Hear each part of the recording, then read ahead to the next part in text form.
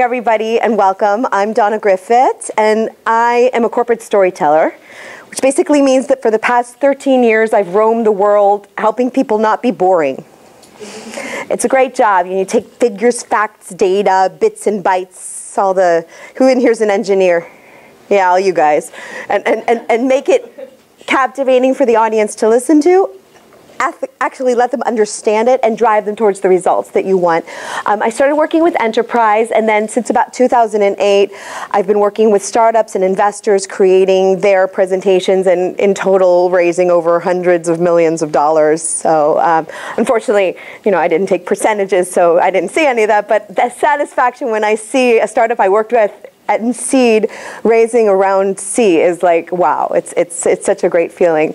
So just a word about SVOD. Um, this workshop tonight actually was inspired towards SVOD, and we're actually recording. Hi, everybody out there that will be preparing for SVOD and watching this, because I'm not doing any mentoring this year until you watch this video. Because I mentored a lot of the companies last year, and I kept seeing the same thing happening over and over again. People were just not telling stories. They were getting very detail oriented. And I, I, I suggested to Anna and, and Tatiana, why don't we do a webinar or a workshop for it this year? So that's kind of the timing, how it worked out. How many people in here are entrepreneurs? Wow, lots, okay? What else are in here not entrepreneurs? Like business people, High tech, yeah, okay. Good, so, but it looks like a lot of people have started up. So how many people are actively fundraising? Or, you know, okay, nobody wants to, we're never yes fundraising, we're never not fundraising, right? We're always kind of sort of somewhere in the middle. Okay, so just in case you might be fundraising, uh, this workshop tonight is actually going to be devoted to the quick pitch, which is what you would do if you presented SVOD. You have five minutes up on stage, and then you have like a three-minute Q&A. It might be a two-minute pitch, like uh, we worked with Kalina, she had two minutes. It might be a one-minute elevator pitch. It might be a networking event that you have that you need to be able to present yourself in a powerful, quick way that people get and want to continue the conversation.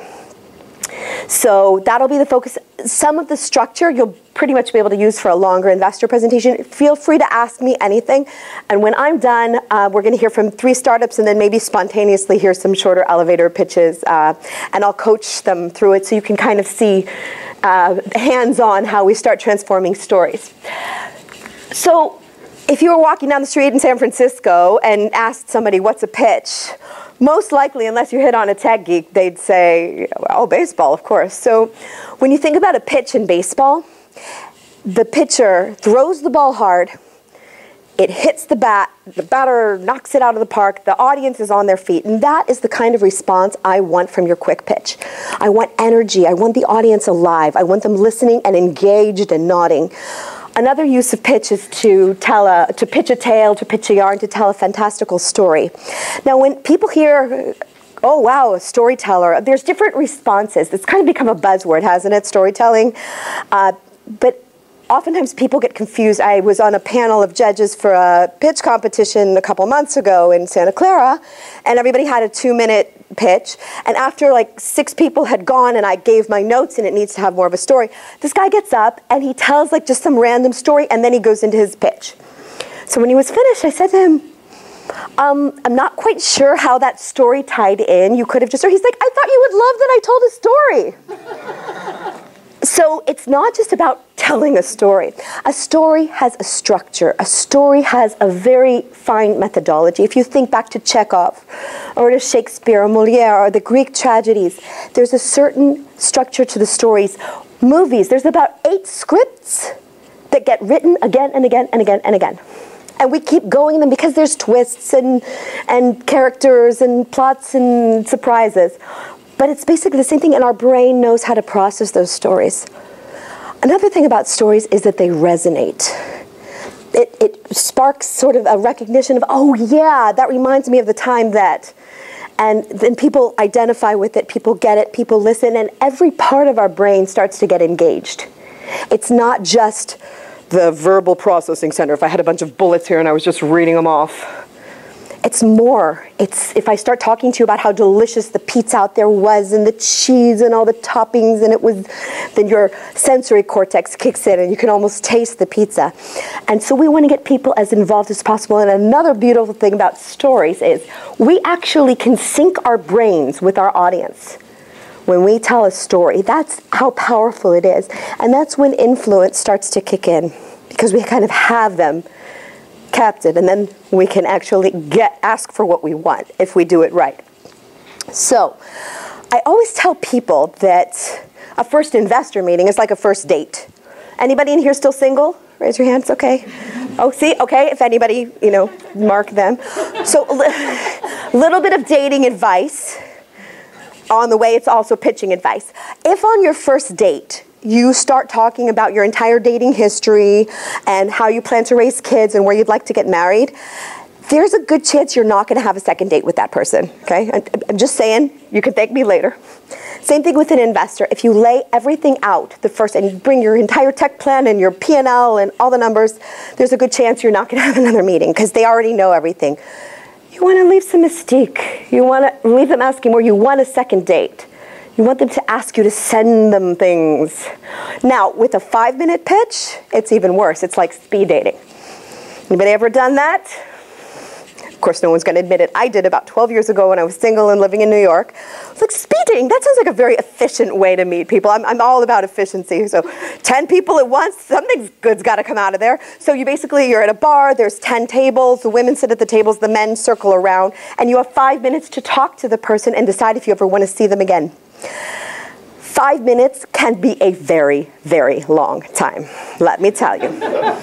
Okay?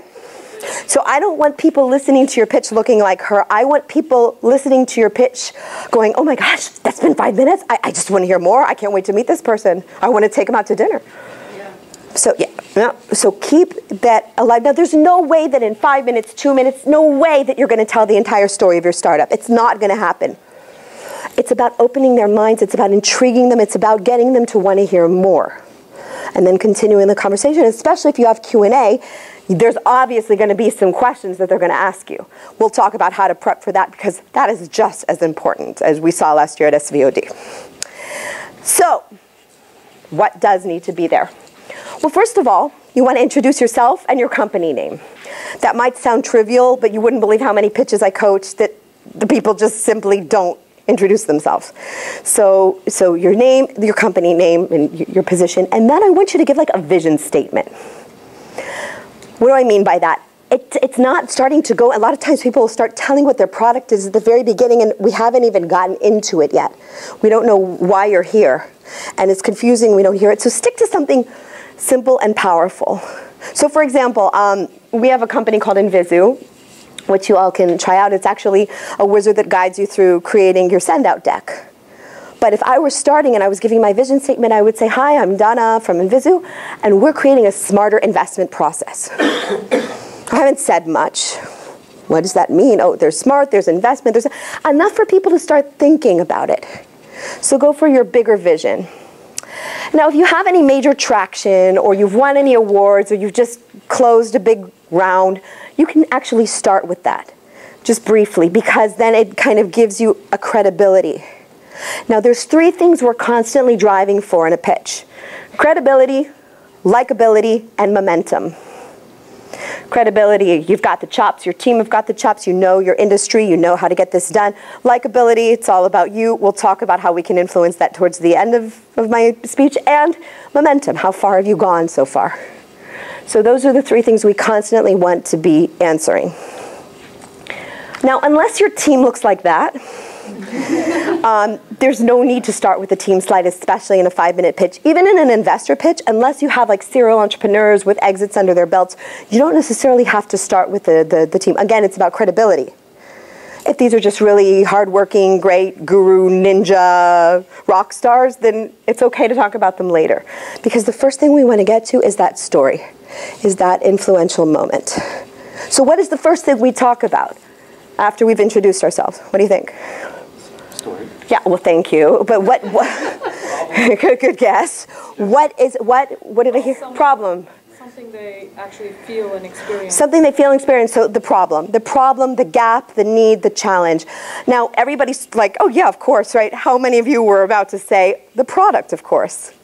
I meet tens of startups each week, and the majority, when I sit down with them, will start telling me about the product.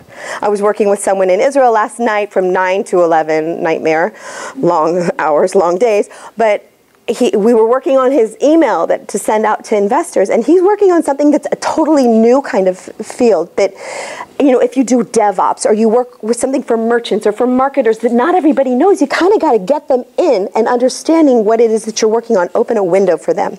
So you want to start off with the problem statement. And the best way to tell about the problem is through a story. So you either want to make them feel the pain or make them go, Hallelujah, I can't believe you're about to solve this. This is amazing. I never even realized how much I wanted it till you just brought it up. It's one of those. People are motivated either by wanting to protect themselves from something bad happening to them or move towards something good happening to them. The carrot or the stick. You just decide which is the bigger motivator in whatever it is that you're working on. Now, the story, usually the best story is your personal story. As a founder, something happened to you or to someone you care about or to the world at large that you couldn't sit quietly by anymore. You needed to go out and make a change and quit your job and go on this crazy ride and, and start this startup. So tell the story of that moment. Now, the good news is that Mark Twain said, never get the, let the truth get in the way of a good story. So I'm not saying lie about it. I'm not saying make up the story. I am saying take the story and give it some polish. Cut away the excess parts. Nobody's going to check what happened on which day and exactly anything that's not necessary. You know, cut it down to that because you want people nodding and going, "Oh my gosh, I don't, wouldn't want that to happen to me," or, "Oh wow, that would be really cool if that happened to me." And this, out of a five-minute pitch, is probably going to be 30 to 50 seconds closer to the 30 seconds if we're breaking it down time-wise. Just enough for them to say, okay, so how are you going to solve it? Now, when we talk about the problem, we call it the villain, bad guy in a movie, because an action adventure movie without a good villain is just a sappy drama. The first two minutes you meet the villain, and that keeps us on the edge of our seat. And that's what we want with your, with your story. So there's a bunch of different, I'm going to send these slides out afterwards, uh, and Ten will make sure you get them. So everything from bad economy, what, what kind of new type of companies have emerged because there's been a bad economy for the past eight years? Countless. Is it what? Countless numbers. Countless numbers. Well, what, like sharing economy? Yeah, that didn't exist eight years ago. Can you imagine eight years ago having somebody pull up in their own car and say, get in, would you like a ride? Mm-hmm. I was like, what? But today Uber, we don't think twice about getting into somebody's personal car. So it's all a question of circumstance. Boredom is a huge villain. And the proof of that is King just was acquired for $5.9 billion. And you know what King makes? Candy Crush people are freaking bored and they need things to fill their time and they need to constantly be doing it and, and constantly have new games. Um, a popularizing cultural trend. Something new is happening. Like let's say live broadcast video, Meerkat, Periscope, Facebook's now got a live thing. It's, it's very trendy. So what about businesses and what about politicians and getting on that? You need to make them see if they're missing out on this. So there's all kinds of different villains we can find. It's just a question about how to get the, the sexiest story going. Questions? All right, so once we have our villain story in place, then you can give a simple description of your product. And when I say simple, I mean simple. We do X for Y by Z not a lot of vlogia and zatsias and, and all kinds of like uh, technologies. It's something super simple that everyone sitting in the room gets what you do. You can also use Adeo Ressi uh, has a startup Madlib, which he says, my company, blank, is developing a blank offering to help a blank audience blank a problem with a blank secret sauce. So you can fill that out and that kind of becomes your one, and that's going to be a very useful one-liner for you. You're going to use that at other points, and we'll, we'll talk about that later. Being able to explain your startup in one line is an art form. And you're going to try different ways until you find the one that makes people's eyes lit up and they get it right away. So the simple description, and as quickly as possible, you want to get to an impressive demo. Steve Jobs could have stood around for an hour talking to us about the iPad, or just show it. What's the stronger effect? Of course, the showing. We're visual creatures. The biggest part of our brain is the visual processing center. So we need to see it to believe it. We need to, to, to, to grasp it. So show a demo. It can be a film, it can be a film you made yourself using Camtasia, which is a screen recording software, or iMovie uh, if you have a Mac. Um, you can do screenshots, you could do wireframes. You can just do a mock-up, but something that shows them what it is that you're doing. And as you're showing, you can tell. You can show off like three or four major features. Walk them through it as if it's a first-time user perspective. And in your five-minute pitch, this should be maximum a minute. Maximum a minute. But it is kind of the star. This is the, the, the, the real epicenter of everything. That's what they're here for, to hear about your product. Then you want to talk about how far along you are. Are you in beta? Are you in production already? Do you have customers? Do you have revenue? Is it just an idea? Which is, you know, okay, the idea on the napkin, you might get funded, you might get some preliminary funding just to get the idea off the ground. But they just want to know where you are, not where you're going to be, where you are right now. And then we want to talk about the business. So if we look at our presentation in chapters, chapter one was the problem, chapter two was the solution and the product, chapter three is the business. So there's really not a lot of time in five minutes to talk about all of your business. So there's three important points I want you to hit on. One, differentiation. What makes you st st stand out from your competitors? Now, I hope it's, by the way, I just wrote a blog about this that was released two days ago. Um, I'll, I'll, put it on the Umbar page, or, or Tatiana can. It's a really great rundown of how to talk about your competition, and it's so important, and it's so hard. So uh, you need to know your competition really well. You need to not talk trash about any of your competitors because you have no idea who might be in the room that's an initial investor or board member or involved somehow in that in your competitor's startup. Uh, and you want to also leverage the success. So, so you're never saying anything bad about them. So they do ABC. We do ABC plus XYZ. Very confident, very, you know, you know what really is different about you and you're prepared for tough questions with it. Monetization, how are you going to make money? Now, even if you're at that point in your startup where you're growing your community and you're you're not going to monetize the first year, even the first two years, you need to show that somewhere down the line you know how you're going to make money on this and significant money. So, is it affiliate? Is it subscription? Is it ads? What is it? And finally, opportunization. Yes, I know that's not a real word but it go, rhymes with monetization differentiation, so it's easier to understand. So what do I mean by that? Talking about just the market size, sometimes this is very obvious. We know the smartphone market is huge. We know that the VR is rising. We, but what don't they know? Try to find some interesting trends and opportunities in your market that show that this is a hot opportunity now. Something might have changed in the market.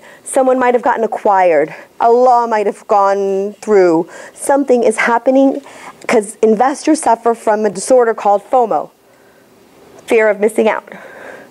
And if we can touch on that sensitive spot and show them that if they don't invest in you, they might be missing out on the next big thing, that's a good thing. Nobody wants in this town wants to feel like they've missed out on the next big thing. So really give them a reason to see that this is a hot opportunity and it's timely. So those are the three things you're really going to have time for. The rest of the business stuff leave for the Q&A, unless there's something super important about the business that you want to talk about. Then you can talk about the team, but again, it's not a time to go through everybody's resume. Um, you want to give kind of the overview of why this team is the team to get this off the ground. We have a team made up of technology experts, business, marketing, design, people, and you could put the logos at the bottom of places that people have worked. So you show that you have an impressive team. Of course, later they can ask you more about the team, but just to show what you have, what are your assets. And then finally, I want you to end with inspiration. You would not believe how many pitches I see that are really great, and then they end kind of with a, um, well, uh, well, um, that's it. Okay, thanks. Really? That's all you have for me? You've given a great presentation and that's how you end? No. End as powerfully as you started. So you started with a story. Cap off the story. Tell us where it is now. What's happening with it. End with a powerful quote. End leading us on the journey of where you're headed. But this is just the beginning. We envision ourselves going different markets, new products, whatever it is, so that they go, wow, this is even bigger than we thought. Inspire. Let them leave them with a feeling of like, wow, I want to hear more from this person. This is really great. Now, last year at SVOD, I was watching a lot of the pitches that I that I didn't have the opportunity to coach, and sometimes I'd hear the great story mixed in somewhere, like even in the Q and A. Like uh, there was this one guy, and one of the um, judges asked him, so how did you get the idea for this? And then he told this great story. And I'm like, why didn't he start with that? Why didn't he tell that in the presentation? Don't miss those opportunities. Just don't. Because that's what really makes it about you and makes it unique and goes to your likability as well. Questions? Good. So this is, yes. Anyone? Okay. So this is the content and the structure of a five minute pitch. Now let's talk about an elevator pitch. There's three different kinds of elevator pitch. There's the actual elevator pitch, which is about the time it would take to go from the bottom floor to the top floor of like the Empire State Building and then back down again, a little over a minute. And if you've gotten the opportunity to present yourself in a minute, the good news, it's the same. So we had four chapters. We had problem, solution, business, and vision for the future moving forward. Same thing, only here we're going to condense it down. So you can start with your problem story, shave it down, use your simple sentence about your solution, and then give us something amazing about your traction, about the market, something that wows us. That's it. Okay, then there's what I call the handshake pitch. You're at a networking event, you're walking around, talking to people, and they say, So what do you do?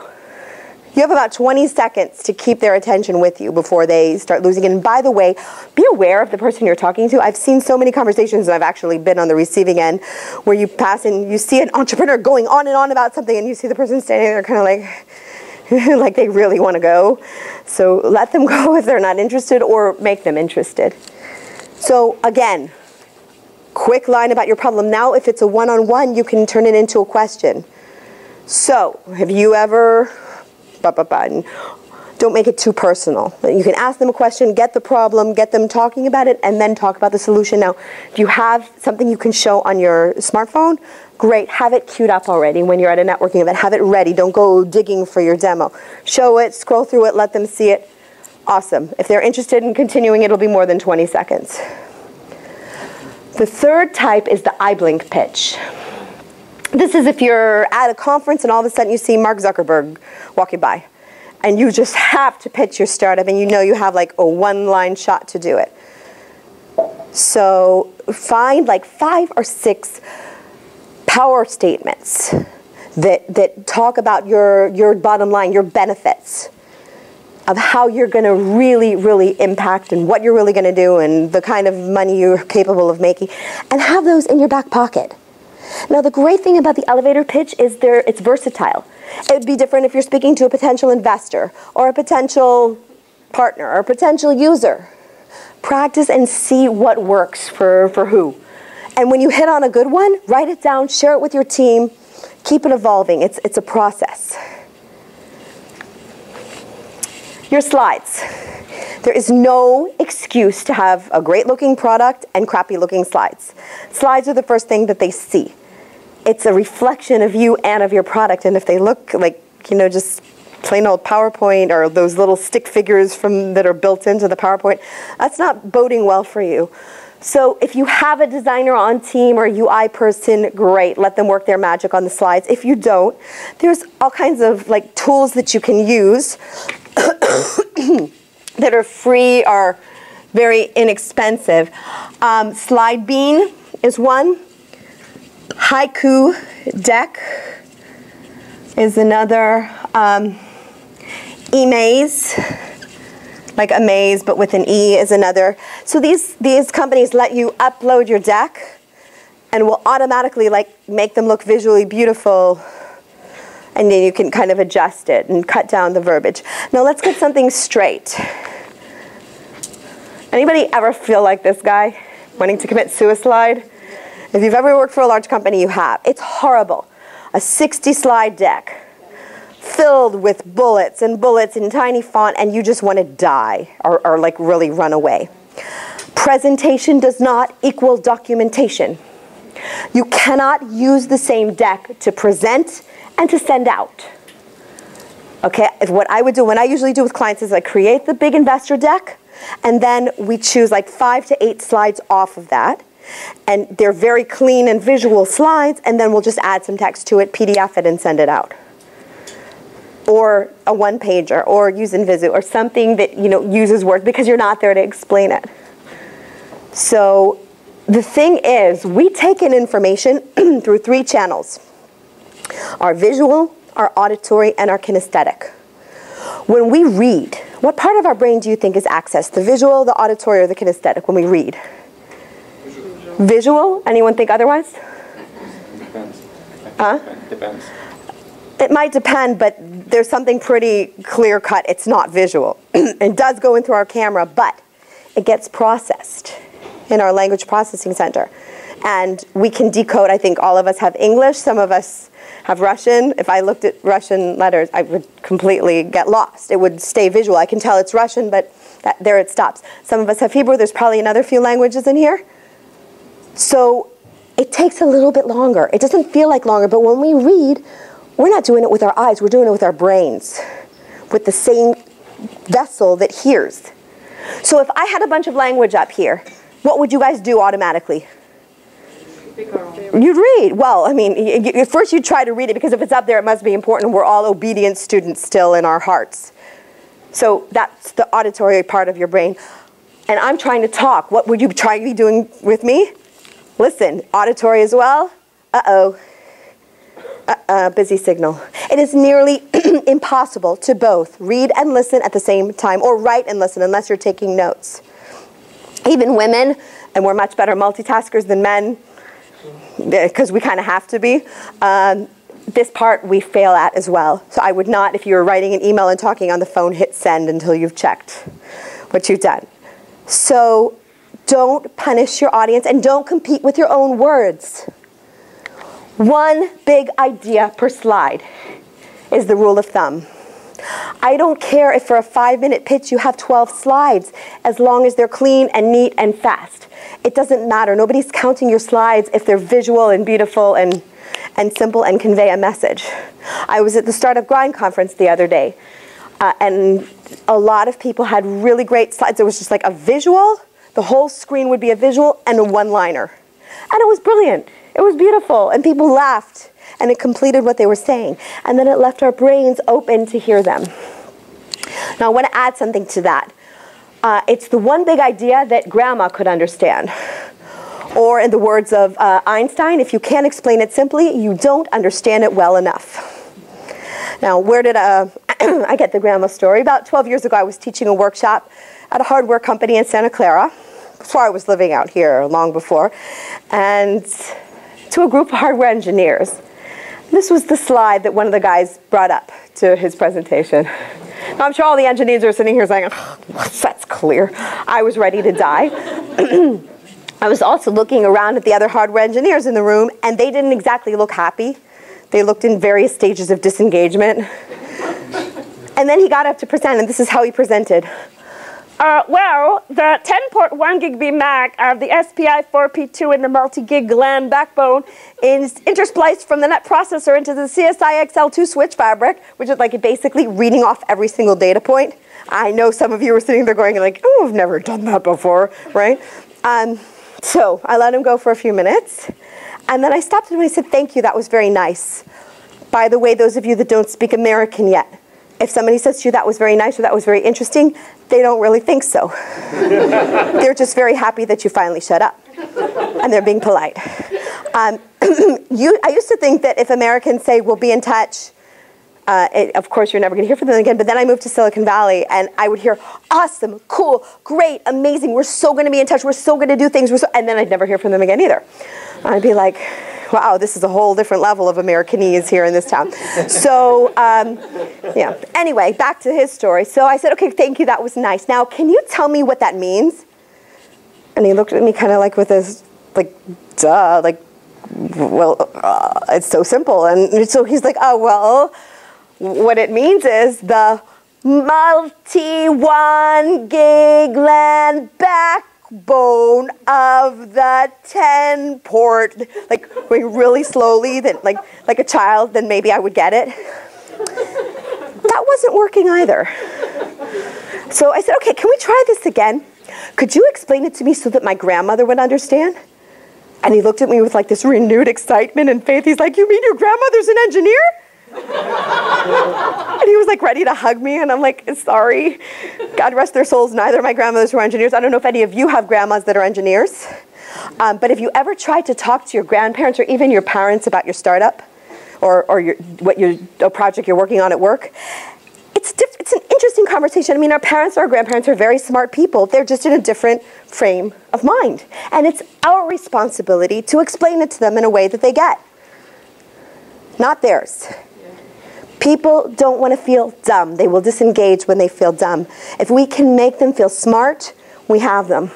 So basically, after another few goes, I realized what this guy was trying to say. All he was really trying to say was, Grandma, we're doing a lot more in a lot less space. Grandma, did you know that once upon a time, computers took up entire rooms like this?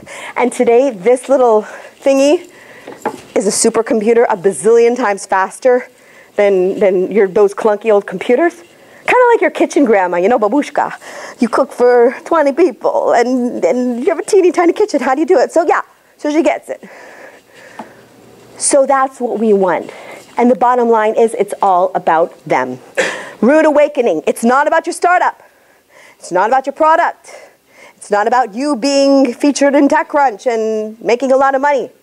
It's about your audience getting it on the level that you want them to get it at and believing it and wanting to move forward with it. That's what matters. Questions? Okay, another few things on polish and then we'll move on to you guys. So Q&A.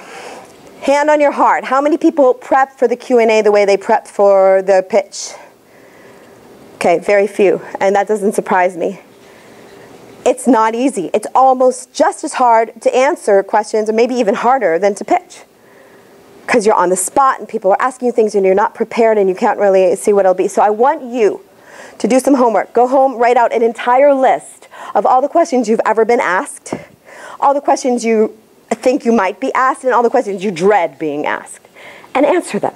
Write out answers and familiarize yourself with them. The same way you would review a pitch before you got up, review the answers. You don't have to memorize them, but just know them well enough that you're ready with an answer. And those that you choose not to answer, that's fine too. But you can't say, let's take it offline for everything. Okay? Keep your energy up. Be memorable, especially if you're up on a stage. You have to have that energy. So I have a lot of people say, well, you know, I'm just not a very dynamic person. I'm not an actor. This is who I am. You know, take it or leave it. I'm like, uh-huh, someone's going to leave it, honey. I need you to act like you've either just had 10 shots of espresso or 10 shots of vodka, whatever does it for you. Don't actually go out and do that, please, because we don't need people fainting in the middle of their presentation. But you need to get your energy level up. Now, I was working recently with a CEO uh, who's heading out for a round A very accomplished guy, already has an exit under his belt.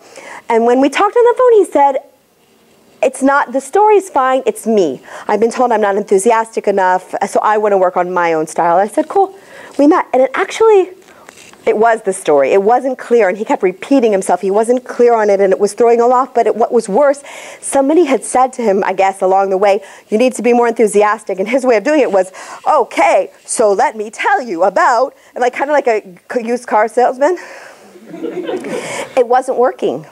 So I said to him, what gets you excited? And he said, oh, skiing and skiing with my kids. And I said, so tell me about it. And he was like, oh, and I could see the passion. I'm like, okay, go, talk, do your pitch. And it just, it was him at his best, at his most energetic and passionate, and that's what we want. Now, you should be excited enough about your product that it's just there. So ride the wave of that ad- adrenaline, but keep the passion present. Eyes are the best tool we have to connect with our audience. Oftentimes, presentation skills class will say, find a dot opposite the wall and talk there because then it looks like you're talking to the entire audience. Does it look in any way, shape, or form like I'm talking to you guys right now? Okay, I didn't think so. And then there's like the sprinkler where they say move your head around just like a sprinkler on a yard would be. And that's not quite right either. So let go of those and just make contact. Find someone in the audience. You spend a moment, you spend a thought, got a little smile, a little nod, move on to someone else. And you're sharing the love. And the people around kind of feel the, the, the waves of the love as well. And then you can move over and you talk to someone else. And you're doing little energy exchanges. You're getting energized, they're getting energized. It feels personal. And it's so much better. Even if it's a huge room. It, I mean, this is a, a pretty big room, but when, you know, like an SVOD, it's huge, it's massive, a lot of people. But when you're having a conversation with an individual, it's not as scary as a presentation for a group. So just keep it very personal, keep it very one on one, and just, I mean, you don't want to spend too long with any one person because that can be a little bit intimidating too. If you're looking at just one person, they're kind of like, okay, what did I, you know. So presentation equals conversation. If you think about the best presentations you've seen, it'll usually be people that you feel like we're just chatting with you. And that's what we want. What to wear to a presentation? oh, I'm sorry, that's not what this is about, just kidding. This is actually about voice. Now, opera singers do not need microphones, and I'm actually doing pretty well. They offered me a microphone in here without it, even though my capacity is not what it usually is for my voice. So I was a little worried there. Um, but people that know how to train their voice know how to support it with breath. People that don't, oftentimes, does anybody here feel that their voice gets a little bit crackly after about 10 minutes they're talking and you walk away and it's kind of scratchy? Yeah, there you go. So you're probably not breathing enough. And that comes from training either acting or, or singing. You get trained how to breathe. Yoga is another great way. So what I want you guys to do, try it now. Take a breath in through your nose and fill your belly with a tank of air. Okay, I don't have much room in there. but then you have an entire tank of air to talk and it supports your voice and you can keep talking just about till you feel the tank's about to run off but don't keep going past that because then your voice kind of is going like that and even if you have a microphone it sounds like very scraggly.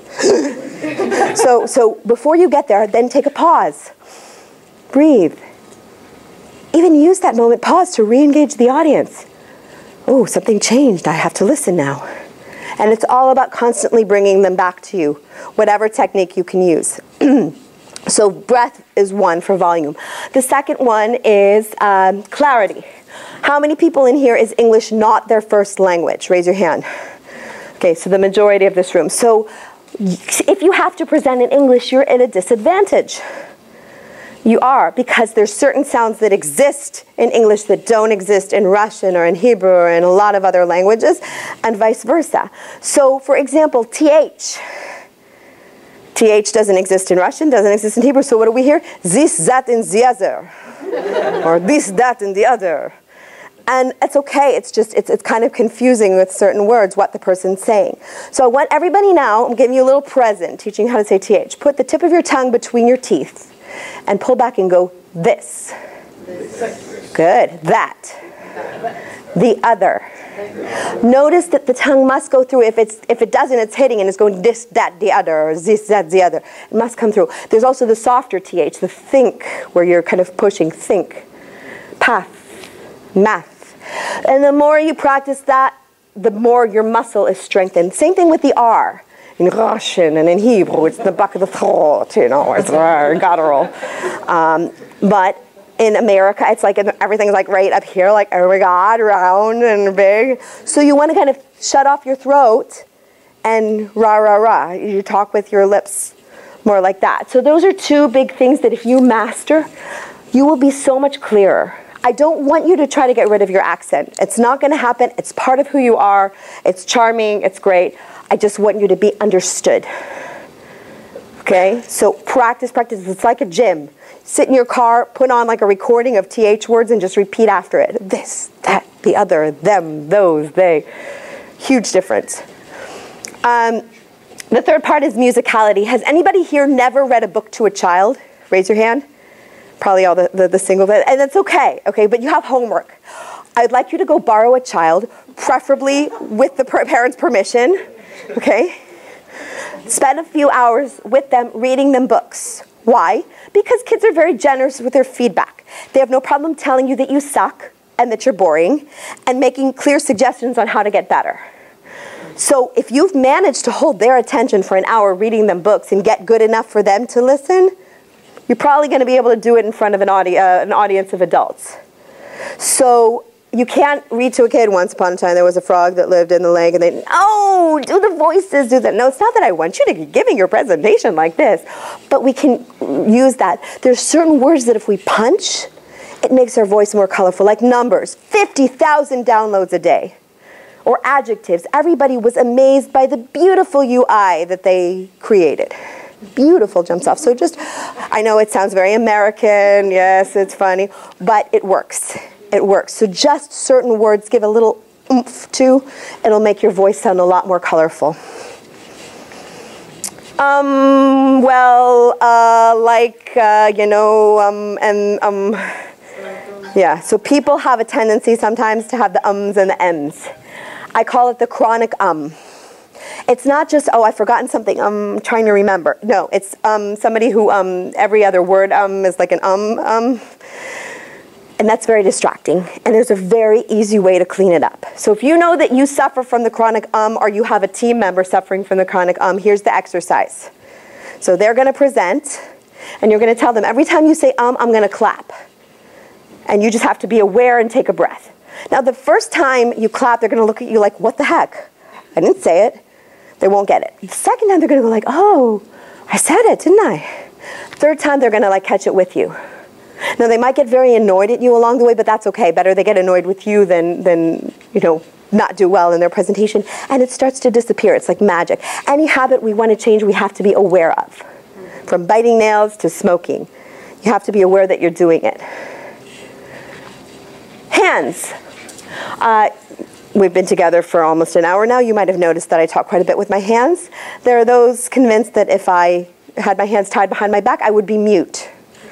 Now, uh, I, I try to make sure that my hands match the message I was saying, because if I was just standing here going like this, what kind of message would I be sending? Confused, distracted, what's she doing with her hands? So I'm all frustrated. I'm, I'm all for hand gestures. You can use your wrists, you can use your elbows, you can use your entire frame. I think they're great. But sometimes we also want to rest our hands. So again, business school will often tell you when you start off, Stand like this. This is how a leader stands. Everybody stand up and let's see if we have some leaders in the room. Everybody stand up and do this. Come on. Get up off your chairs. Stretch your bones a little bit. Let's see you all go like this. Okay, all right, so we have some leaders. We have some ballerinas, a, a couple accordion players, and a couple Mr. Smithers. Excellent, yes. So sit down. One size does not fit all. Now, I'm no body language expert. I'm not quite sure that I buy into it, but I see different heights and different widths and different girths in here, different people looking different. Different gestures look different on you. So I want you to find what works best for you. Some people, this will give them a lot of power. Others will look like a drill sergeant in the army. Some people, this will give them authority. Others, it'll make them disappear and be tiny. So you need to find what works best for you. And one more thing about gestures also. I would rather you talk with your hands than talk with your feet. I'll always have a client that's doing kind of little cha-cha while they talk, and they don't even realize that they're constantly doing a little thing as they move. And the whole time they're talking, going like that, and the audience is kind of like, um, so until they see a tape of themselves, they're like, oh my God, I can't believe I was doing that. So when you're talking, here, I don't usually have two screens. Usually it's, it'll be like one screen. So I want to stand with my feet planted, my knees solid at 45 degree angle to my slides. Why?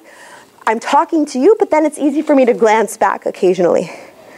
No, it doesn't mean I have to stay there. I can move. Then I can walk. And I can decide I'm going to walk to the other side of the room. And then I plant myself here and I have a whole new perspective on the room, another 45 degree angle I just want to make sure never to turn my back to my audience. Then I can choose later to walk to another place and you know move but then i stand and i plant myself. So you're either moving with purpose or standing. You're not dancing and you're not pacing like you were waiting to hear if your wife has given birth uh, at the delivery room. No you, the, nowadays you're there with her. So talk, let the gestures come from your hands not from your feet practice practice practice there is not a single profession that requires you to be in front of a, the, an audience, not singing, dancing, sports, that there's not a practice or a rehearsal period. And then we write presentations and we walk in after we finish it at 3 o'clock in the morning, we saunter in at 8 to give a meeting and we're like all cool and then it goes horribly and we're like, oh, why did it go so bad? Well, duh. You need to practice it. You need to go through it a few times. And it's not just reading it, it's talking it out loud. Either to yourself, do not do it in front of a mirror not a good idea. It's too self conscious. Either tape yourself, present to a significant other, a friend, a team member. If you're on a plane or a train, make people there listen to your presentation. I don't care until you are totally comfortable with it. It truly helps. Who here gets nervous before big presentations? Okay, so the rest of you either didn't hear me or a bunch of liars. Because it's the most natural thing in the world to get nervous before a big presentation. If you weren't feeling anything, I'd have to uh, check your pulse. Now, when you get nervous, where in your body do you feel those nerves? Heart, tummy, yeah, so the butterflies in the stomach is probably the most popular one I hear. So put that aside for a second and think of the last time you were really excited about something. A big trip you took, an important meeting, my workshop tonight. Of course, right? Um, so where on your body did you feel the excitement?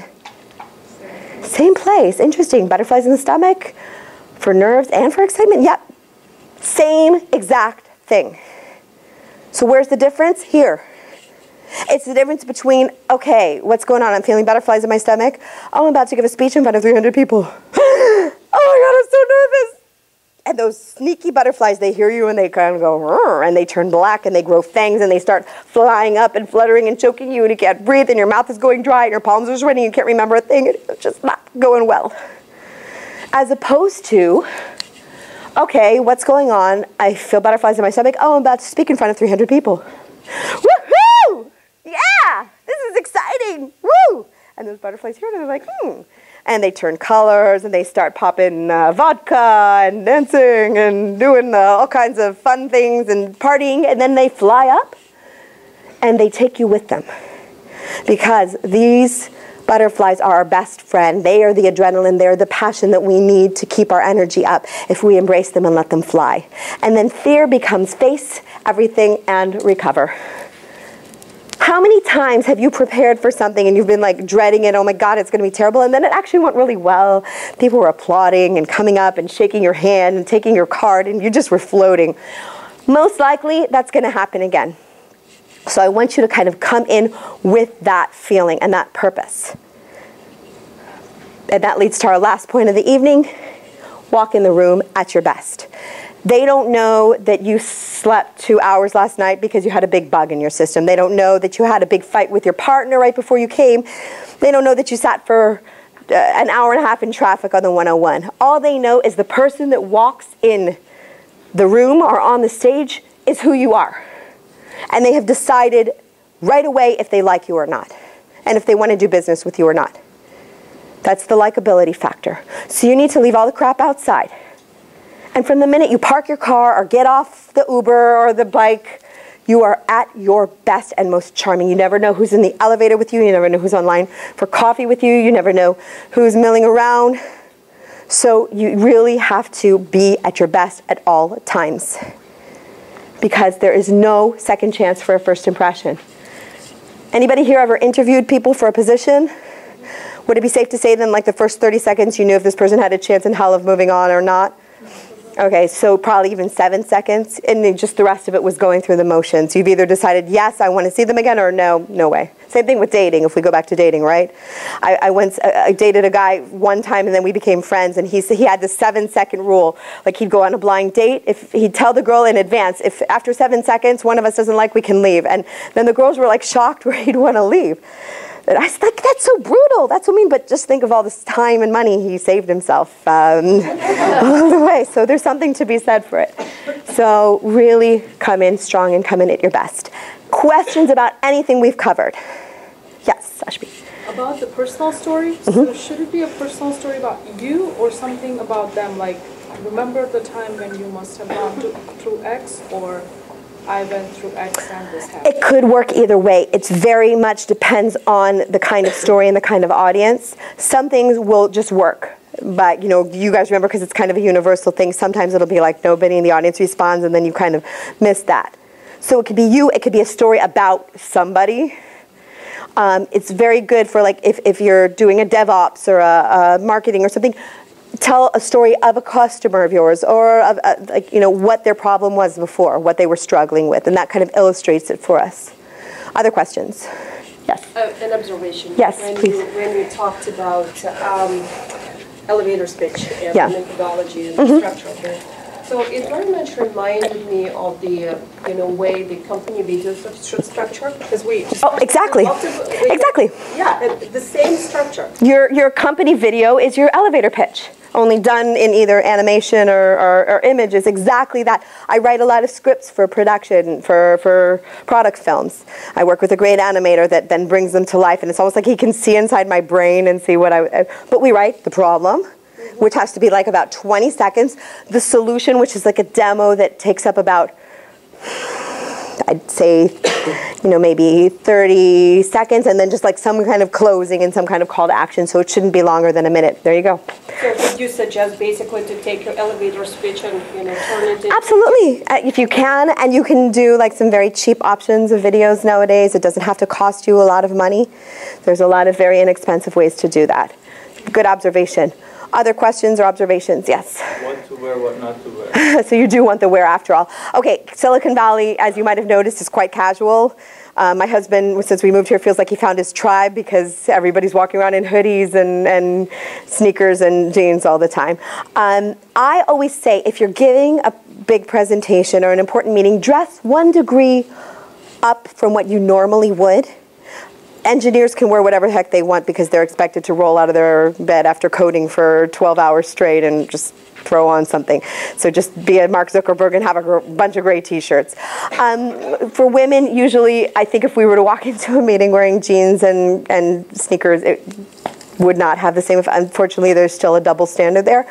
So I think pretty much everybody's dressed for here for what they would wear to a meeting. Are you an engineer? Are you on the technical side?